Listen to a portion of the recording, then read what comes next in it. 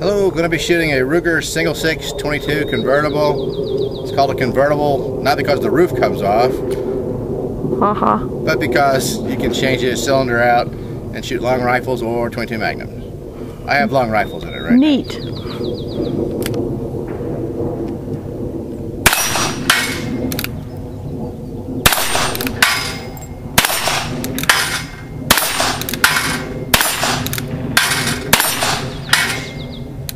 That's it, six shots. And that's my little Ruger Single Six 22. Hello, everybody. And hello to my wife. Hello, husband. There's Hello, the wife. husband. And the father. Hello there, son. I'm gonna shoot my Ruger. Uh. A Ruger single six, five and a half inch, uh, six and a half inch barrel, 22 rimfire Magnum.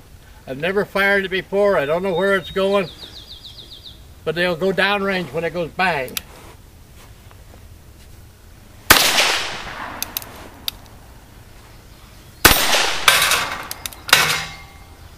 And that's called the Kennedy bullet. Nothing downrange, but the target dropped. Little boy Bill reset the targets up there for me. Not that it was really necessary because uh, they'll probably be still up there when I finish shooting.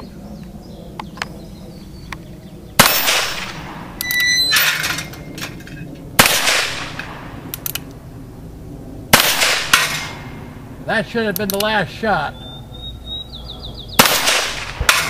Nope. That was. Okay.